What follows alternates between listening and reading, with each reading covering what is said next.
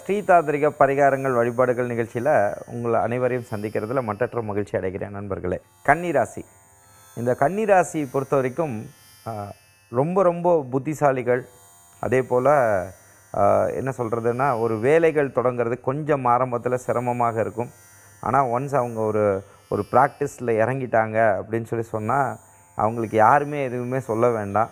அவங்க பாட்டுக்கு அந்த ஒர்க்கை பார்க்குறது இது எந்த ஒரு இதாக இருக்கட்டும் அது நல்ல விஷயமா இருந்தாலும் சரி ஒரு பழக்க வழக்கங்களாக இருக்கட்டும் எதாக இருக்கட்டும் அதில் அவங்க தொடங்குறதுக்கு மட்டும் கொஞ்சம் ஸ்டார்டிங் ட்ரபிள் இருக்கும்.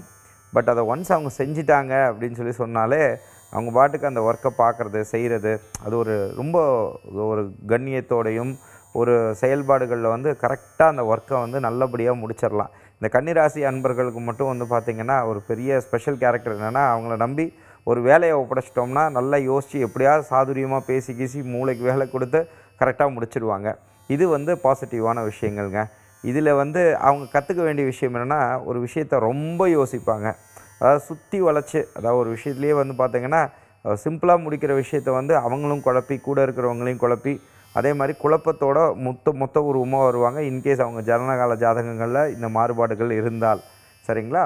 அப்படிங்கும்போது இதை தவிர்த்து நிறைய விஷயங்கள் உண்டு. பட் இது எதுக்காக நான் சொல்கிறேன்னா எப்பயுமே வந்து ஜனனகால ஜாதகங்களையும் நீங்கள் கணித்து அதுக்கப்புறமா தாந்திரிக ரீதியான இந்த விஷயங்களை நீங்கள் பண்ணிக்கும் போது தான் இன்னும் ஒரு மிகப்பெரிய மாற்றங்கள் ஏற்படும். இன்கேஸ் நீங்கள் ஜனனகால ஜாதகங்களை கணித்து தாந்திரிக ரீதியாகவும் தெரிஞ்சுக்கணும்னு நினச்சாலும் பின்னாடி இருக்கிற நம்பருக்கு காண்டாக்ட் பண்ணி அப்பாயின்மெண்ட் எடுத்துக்கலாம்.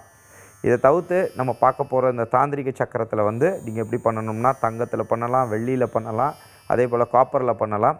அது இல்லாமல் பஞ்சலோகத்தில் பண்ணலாம். நான் எல்லாருக்கும் பண்ணி கொடுக்குறது அடியேன் பண்ணி கொடுக்குறது எல்லாமே வந்து பஞ்சலோகத்தில் தான் பண்ணி ஏன்னா பஞ்சலோகத்துக்குன்னு ஒரு சக்தி உண்டு. அதில் என்னென்ன ஆக்சுவலாக சேர்க்கணுமோ இதெல்லாம் சேர்த்து தான் நம்ம பண்ணி கொடுக்குறோம். நாங்கள் இலவசமாக கொடுக்குறது இல்லைங்க. அதுக்குள்ள கட்டணங்கள் வாங்கிட்டு தான் நாங்கள் கொடுக்குறோம். ஒருவேளை வேணும் கேட்டவங்க கேட்குறவங்க கூட பின்னாடி இருக்கிற நம்பருக்கு காண்டாக்ட் பண்ணி கேட்டு வாங்கிக்கலாம்.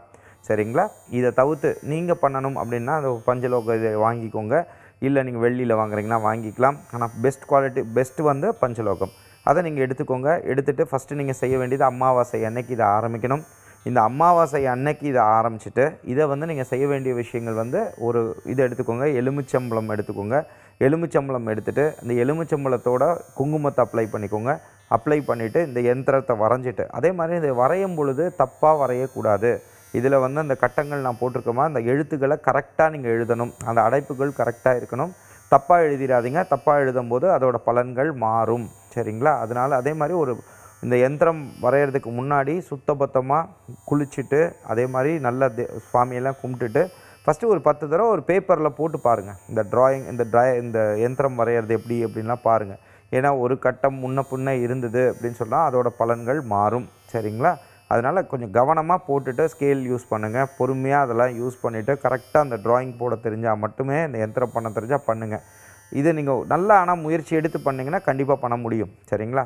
அப்போ ஆரம்ப கட்டங்களில் பண்ணும்போது வே- ஒருவேளை நீங்கள் அதை தப்பாக பண்ணிட்டீங்க அப்படின்னு சொல்லி சொன்னால் அதை அடித்து திருப்பியும் பண்ணக்கூடாது. புதுசாக தான் திருப்பியும் நீங்கள் அதை யூஸ் பண்ணணும். அது வந்து பழைய இதை நீங்கள் திருப்பியும் மாற்றி பண்ணிங்கன்னா அது தப்பாகிடும் அதனால் அதை அப்படி பண்ணாதீங்க. ஸோ அப்படிங்கும்போது கரெக்டாக பண்ணி இதை பண்ணிக்க வேண்டியது. இதுக்கு நீங்கள் அந்த எலுமிச்சம் காவு அந்த காவு கொடுத்துட்டு அதை பிழிஞ்சிட்டு அதை நீங்கள் வந்து கால்படாத இடத்துல தூக்கி போட்டுறணும். இதை தவிர்த்து நீங்கள் செய்ய வேண்டியது என்னன்னு கேட்டிங்கன்னா மஞ்சள் எடுத்துக்கோங்க. மஞ்சள் எடுத்துகிட்டு பியூர் மஞ்சளாக இருக்கட்டும்ங்க. அந்த மஞ்சள் எடுத்து அந்த மஞ்சள் பொடியாக இருக்கட்டும் இதில் தண்ணி கலக்க வேண்டாம். அது மேலே எடுத்து அப்ளை பண்ணுங்கள் அப்ளை பண்ணிவிட்டு அந்த மஞ்சளை தனியாக எடுத்து வச்சுக்கோங்க. இதை தவிர்த்து என்ன செய்யுங்கன்னா குங்குமம் எடுத்துக்கோங்க. குங்குமத்தை எடுத்து அது மேலே அப்ளை பண்ணுங்கள் அப்ளை பண்ணிவிட்டு தனியாக எடுத்துக்கோங்க.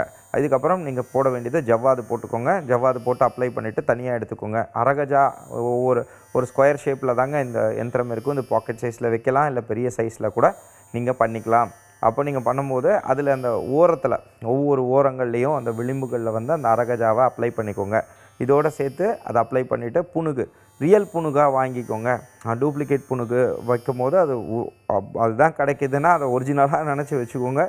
பட் ரியல் புணுகுன்னு நீங்கள் வைக்கும் போது அதோட ஆகர்ஷண சக்திகள் இன்னும் ரொம்ப ஜாஸ்தியாக இருக்குங்க. அப்போ அந்த இதையும் நீங்கள் அப்ளை பண்ணிவிட்டு ஒவ்வொரு பாயிண்ட்லேயும் நீங்கள் அப்ளை பண்ணிவிட்டு இதை எடுத்துக்கணும். இந்த முப்பது நாள் விடாமல் பூஜை பண்ணணும். இடையில வந்து தடைகள் இருந்தால் சரிங்களா? இப்போ நீங்கள் இதெல்லாம் எடுத்து வச்சுருக்கீங்களே அந்த சா- இந்த குங்குமம் இந்த மஞ்சள் இதெல்லாம் நீங்கள் தனியாக எடுத்து யூஸ் பண்ணிக்கலாமா? கண்டிப்பாக யூஸ் பண்ணிக்கலாம். சரிங்களா? இது நீங்கள் இந்த முப்பது நாள் முடிக்கும் போது இடையில தடைகள் வந்ததுன்னா என்றைக்கு தடைகள் வருதோ அதுக்கப்புறம் உள்ளதில் நீங்கள் தாராளமாக கண்டினியூ பண்ணி பண்ணலாம். இப்போ நீங்கள் கண்டினியூ பண்ணி பண்ணும்போது இதுக்கு என்ன மந்திரம் நீங்கள் சொல்லலாம்? ஓம் புதாய நம ஓம் புதாய நம. ஒரு நூற்றி எட்டு தடவை நீங்கள் செய்ய வேண்டியது. இதுக்கப்புறம் வழிபட வேண்டிய தெய்வம் யார் அப்படின்னு கேட்டிங்கன்னா நீங்கள் வந்து சிவனை நீங்கள் வழிபடலாம். அப்போ வந்து ஓம் நம சிவாய ஓம் நம சிவாய ஓம் நம சிவாய். எப்படிங்கிறத மனசுக்குள்ளே நீங்கள் சொல்லலாம். இதை தவிர்த்து நீங்கள் நினைக்க வேண்டியது யாரை நினைக்கலாம்னா அம்பாள் கற்பகாம்பாளை நினைக்கலாம். மீனாட்சி மீனாட்சி அம்மனை நினைக்கலாம். இதை தவிர்த்து வாராகி அம்மனையும் நினைக்கலாம். அப்போ நீங்கள் மனசுக்குள்ளே நினைக்கும் போது ஓம் குண்டலி புறவாசினி சண்டமுண்ட விநாசினி பண்டிதசிய மனோன்மணி வாராகி நமோஸ்துதே. ஓம் அஷ்டலட்சுமி ஸ்வரூபிணி அஷ்டதாரித்ரிய நாசினி இஷ்டகாம பிரதாயினி வாராகி நமோஸ்துதே. இந்த மந்திரத்தையும் சொல்லலாம். இல்லை ஓம் வாராகி தேவியே நம்ம அப்படிங்கிறதையும் ஒரு நூற்றி எட்டு தடவை சொல்லலாம்.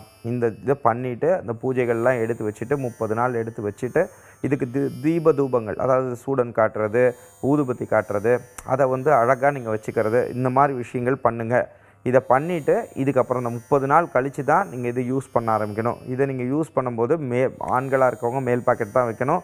பர்ஸில் வச்சு பின்னாடியெல்லாம் வைக்கக்கூடாதுங்க. இது சுத்தபத்தமாக வச்சிங்கன்னா தான் வேலை செய்யும். இதை சுத்தமாக நீங்கள் பண்ணலை அதை வந்து அசுத்தமான இடங்களில் வைக்கிறது. அதே மாதிரி அதுக்குள்ள ஒரு மதிப்பு கொடுக்காம நம்ம ஏதோ ஒரு ஒரு பேப்பர் மாதிரி கசக்கி போடுறது இது மாதிரிலாம் பண்ணால் இது வேலை பார்க்காது. அது வந்து அது அதோட எதிர்வினைகள் என்னவோ அதுதான் அது செய்யும். அதனால் அதை ரொம்ப சுத்தபத்தமாக நீங்கள் வச்சுக்கிட்டு மேல் பாக்கெட்டில் வச்சுக்கணும் அதை ஒரு தெய்வீகமாக பார்க்கணும். இல்லைன்னா அதை நீங்கள் சுவாமி இடத்துலையே வச்சு நீங்கள் பூஜைகள் பண்ணுறது வந்து ரொம்ப நல்- நல்லது.